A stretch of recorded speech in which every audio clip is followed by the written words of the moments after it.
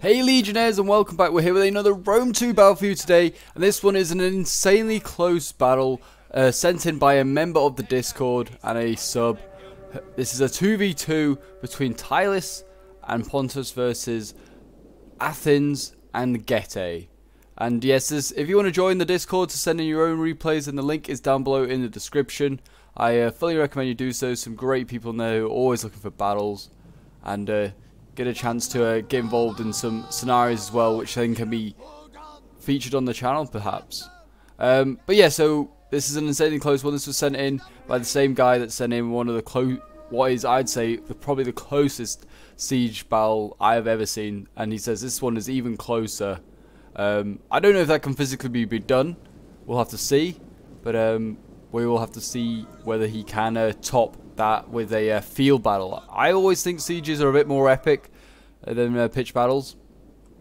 But we'll have to see how epic this one is. But I mean, he's got some Celtic warriors here going in first, and it looks like he's going to be met with some noble swords. Um, this is going to be a very one-sided fight. I mean, he's got some heavy spears on the flanks and some mercenary axe, warrior, axe warriors.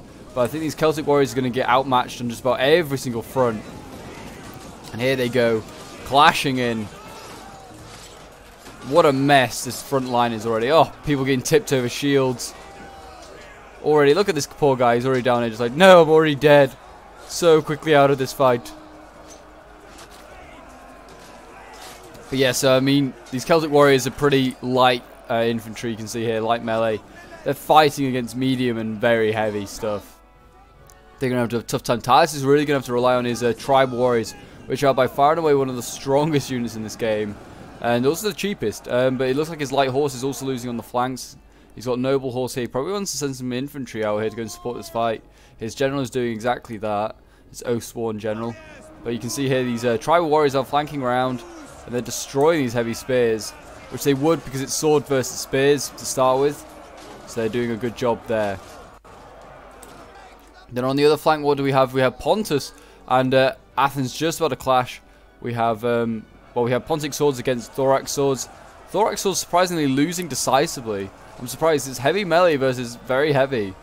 And these uh, Thorax are losing. Which is why I, like, Thorax is so, I don't know, unreliable. Because, like, fights like this, you would imagine they should win this fight. But no, they're going to lose this fight to uh, some Pontic swords. Who are a lot, who are a lot cheaper than them. Well, not a lot, but they are cheaper. Pontus uh, also has some, like, I don't know if he's brought any, but he's got, like, chariots and stuff like that. I should have possibly brought some of them. But his general's already out here. Pontic uh, Royal Cavalry already coming over to help um, fight. Well, also some citizen cavalry. Now some uh, hoplites going in. So, I mean, Athens is, like, already throwing his stuff into help against Dacia. He's got Hippias Lancers over here already. So, I mean, this is a really fast-paced battle at the moment. Uh, but these tribal warriors should chop down these Hippias Lancers in time. But Pontus does need to be careful of his general. He's just getting stuck in combat here. Don't want him to die.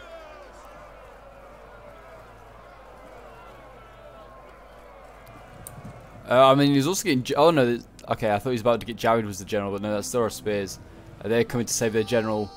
And there's some naked swords there just absolutely destroying some... Uh, well, I think it was just some hoplites. Yeah, that's a really good play. Get these naked swords around the flank now instead of sending them in straight in, and you could do a lot of damage. Like the Thorax swords now are starting to. I thought they were starting to win, but they're not. They are really having a having a rough time. And in the center of the fight, it always looked like Athens' generals already had to be sending Thorax hoplites. I mean, he's won this fight here.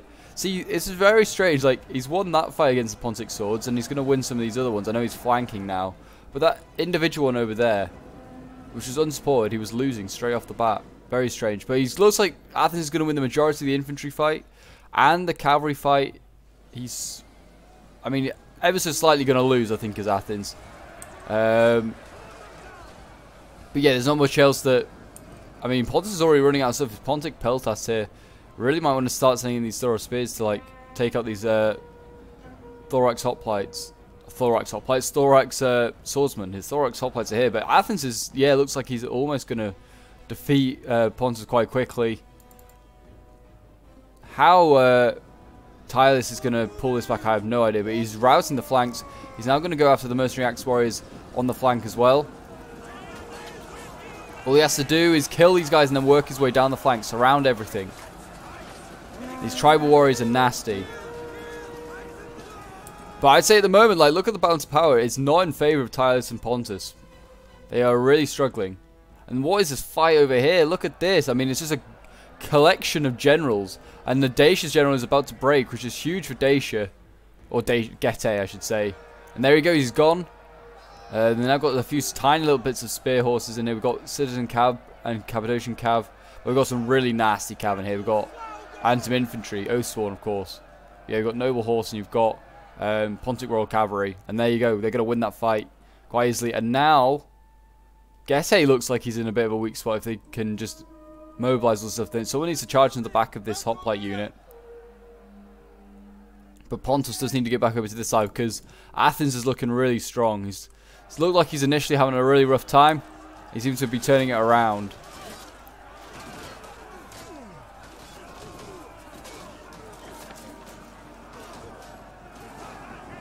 Now some archers coming in.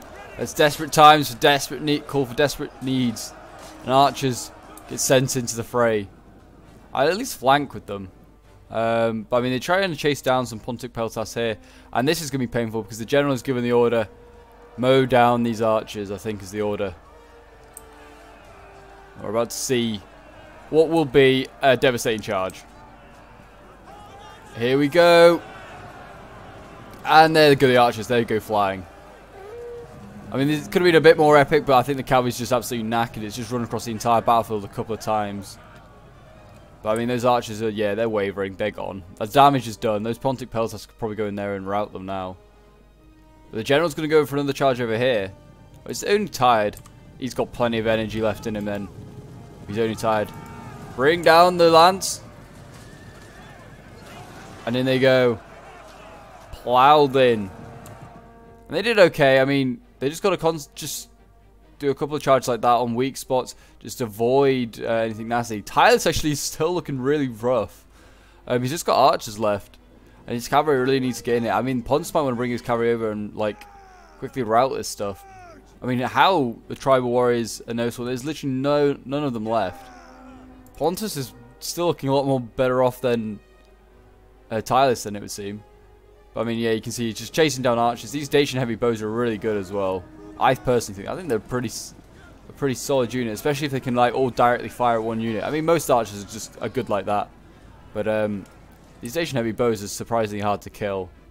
But they are getting easily killed now by this uh, cavalry. And there they go, they're gone. Needs to move on to the next one. This cavalry here, yeah, he's charging into like all the archers, that are any vulnerable archers. Chopping them down. It was really well played here by the uh, Pontic general. Move on into the next one. Either go and support your uh, ally over here, or your own troops actually, not even your ally. Or yeah, go and take out these uh, this arch unit here. But it looks like Athens is probably going to take this side, and it's going to be very, very close. I'd say definitely in favour of Athens. If you look at the balance power, uh, it's still not looking good for um, Tylis and for Pontus. They really need to get some uh, routed units soon. A route this hoplite unit would be uh, a good start, but I don't see these Thoros spears doing that at all.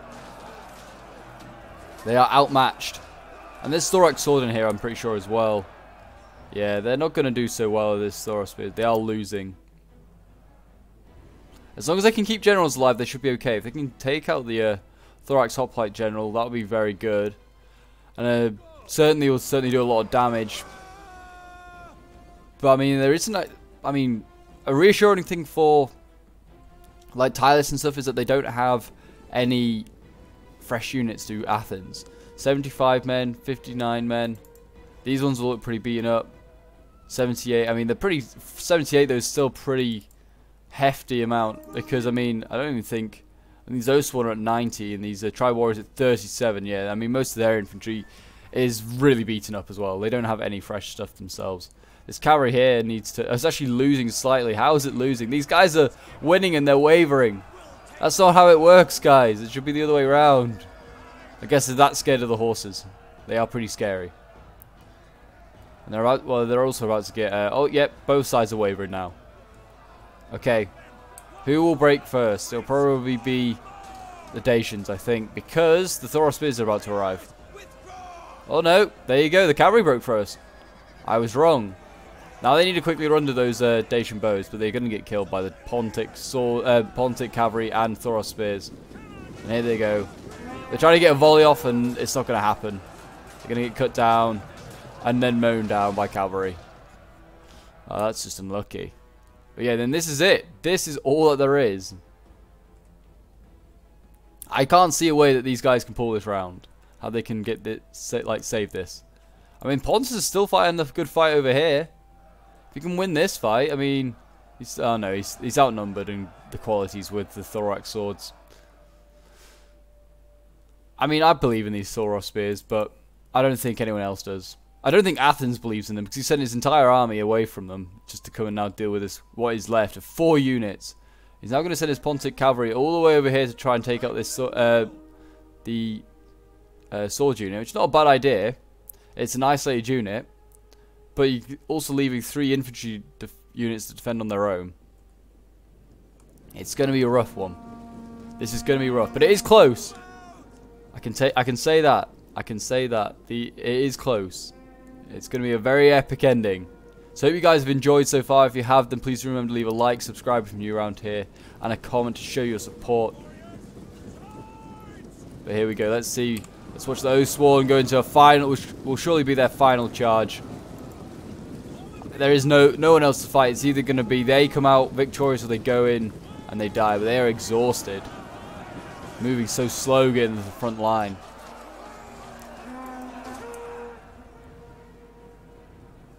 And here they go. The cavalry's going to charge here, and this is really, uh, really good play here. Oh, they're going to go after this tiny unit thorax sword instead. An even better idea. Oh, jeez, flattened that uh, thorax sword unit. Look at them; they're all just on the ground. You just be dead. You just stay dead. I mean, they are wavering now. There's 16 men left. I think that was a unit of 30, 40, uh, and they're going to get a good charge off here as the cavalry. Oh, jeez. Yeah, that's not going to be good for morale. It's the difference is having cavalry left uh, for the, uh, well, I guess you say Pontic and Tylis alliance. Athens has got no cavalry, so it's very susceptible to this. And he is wavering. But I can't see anywhere. I mean, these hoplites here are going to beat these Thoros Spears for sure. I mean, these Oathsworn might take out quite a few of these guys because they're nasty. But he needs to keep his general alive. He needs to be careful with his charge. He can't go just in charging into blobs too uh, wildly. I mean, he's lost his other um, tribal warrior unit, which is a shame. Gonna have to charge these hoplites again. 20 men. Not a bad idea. Get them off the field. And they're gone. Athens just need to keep all of his troops in this blob here. Because, I mean, Pontus can't really charge in. His men are wavering again, though. I mean, but Pontus is also wavering. Jeez. It is going to be close. Another charge from uh, the Pontic Royal Cav might be needed. What's the general at? 52. He's losing. He's losing. Oh my gosh, is Pontus going to do this? Well, and obviously Tylis he's had a massive contribution as well. His infantry are holding the line, allowing Tylis to do this. It's just hammer and anvil. And there you go, this Thorax Sword is going to waver as well. How is this happening? Balance power is still not moved um, at all. I mean, the Thorax Spears are about to break as well. But if they can take out this Thorax Hoplite General, then anything is possible. Oathsworn are losing decisively. There's 36 of them. They're going to get ready. They're going to prepare for a charge. This is going to try and counter charge, and he did kind of do it. Oh, jeez. These Pontic cavalry need to get out of there now. The general is focusing them down. These Thorax swords, yeah, I was going to say, these Thorax swords now are going to be allow are going to allow the general to win this fight. It's like they're pulling out here. They're going to waver. Then will the hoplites be able to turn around and do their damage? But I don't know. 33. Yeah, the general's wavering now. Oh, and the Pontic Royal Cavalry's wavering. No, surely not.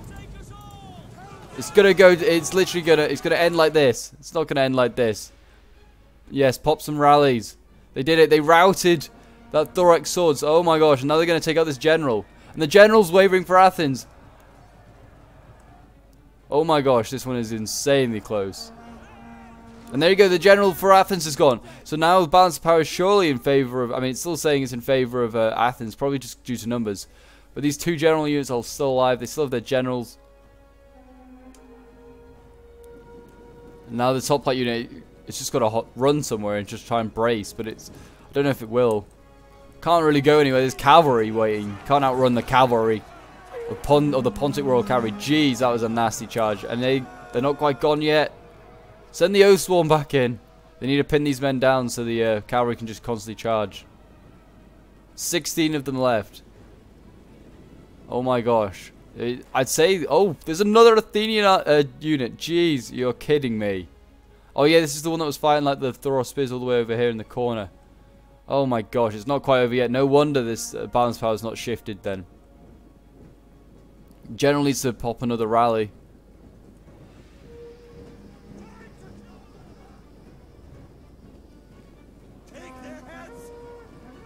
Athens needs to go back to back, so for this unit facing this way against the Oathsworn and the Hoplites facing another way. But there's another great charge. That was not a bad charge at all. The Hoplites, yeah, they've gone from like 70 to 60 odd. But I mean, uh, the cavalry's dying like a couple every time. The charges each time are worse and worse. These Thorax swords are losing very quickly. I mean, they lost a general recently. There goes a popping on another rally. Rally's gone up, and so Dre's banner. And they're now killed off that Thorax sword, so they're now engaged with the Hoplites, and they're going to get charged. Are they winning? Are they losing? It's combat even. And then they're wavering as well. Is that it? Is that going to be it? Are they finally going to do this, Tylis and Pontus? Jeez, it's been insanely close. And what a finale. Jeez. That is definitely by far and away one of the closest I have ever seen. So well done to Murray. He has definitely topped that uh, siege battle. I'd say the siege battle was a bit more epic because it's a siege and it's like a 3v3. But that was insanely good as well. So well done to him. Um, and Andre, uh, 101 for that excellent, excellent um, battle in the end. They fought so hard and did not give up. And that's what you got to do. If your battle start goes against you, you've got to just regroup, never give up, and just try and do the best you can because you'll get lucky sometimes. Um, but unlucky to uh, Zari uh, Guelazul. I have never that is definitely pronounced that wrong. I do apologise. And Alvar um, Omer, Omer um, as well. Alvaramo. I don't know. I do apologise for not being able to pronounce names. Um, but they did fight very well as well. Did uh, Getae and Athens. Um, but we'll have a look at Murray's results first. I mean, he got 209 kills his noble horse in comparison to his light horse getting one. His general uh, Oathsworn getting 317 kills. Well done. That was expected there. Oathsworn is a solid unit. And his tribal warriors getting 235 kills. Excellent. I mean, most of the others getting over 100 as well. So they did really well. Uh, and then Andre, who was playing as Pontus, his general getting 320 kills. I mean, I'm sure he got lots at the end there, just destroying stuff. Is uh, Pontic Peltas? He didn't do so well with them. I think he might have been better just bringing archers, um, just to like match Athens' archers, and then he could have probably and brought maybe a few more infantry. I don't know. Um, but his uh, Peltas got 103 kills, the best one. Actually, 109 the best one. And then his Naked Swords getting 179 kills. It's not bad for them. Better than any of his Pontic Swords so the best, got 66. And his Thoros Spears getting 128 kills. And then uh, we'll have a look at uh, Zari Guazul, um, who um, was playing Athens. 140 kills with his Thorax Hoplite. His Hippias Lance is getting 131 kills. Um, and his uh, Thorax Sword is getting 244, which is not shabby at all. I mean, I did think some of the other ones didn't do so great. Um, I think it was this one, the 62 here. But um, the rest seems to do pretty damn well. And then um, his Hoplite's getting 152 kills, the best one. And then Alvaro, who's playing as Getae, um, uh, his carry didn't do that great. I thought he did better. He seemed to route like uh, Murray's uh, carry quite quickly, but it didn't actually do that great. Um, his Dacian bow's getting 123 kills, is the best one. Most of them getting over 100 kills. As I said earlier, they are. I think they're a really good uh, bow unit to bring um, to the battlefields. Definitely would recommend bringing them. Noble swords getting 174 kills. Pretty average for them, I'd say. I've seen them get a lot more kills than I expected them to do so, but they didn't. Um, the Mercenary Axe Warriors getting 102 kills, and then the Falxmen only getting like 40 kills. They are kind of a shock thing. You kind of have to send around the flanks, a bit like the Naked Swords, um, and they'll do the most damage there. But they are obviously very susceptible to um, being shot at. And then Heavy Spears only getting 10 kills, kind of just got outmatched by the, uh, I think it was the Tribal Warriors. But anyway, guys, if you enjoyed them, please remember to leave a like, subscribe if you're new around here, and leave a comment to show support. And I hope you enjoyed this epic uh, battle. It certainly was um, epic. And I, anyway, guys, I will see you next time.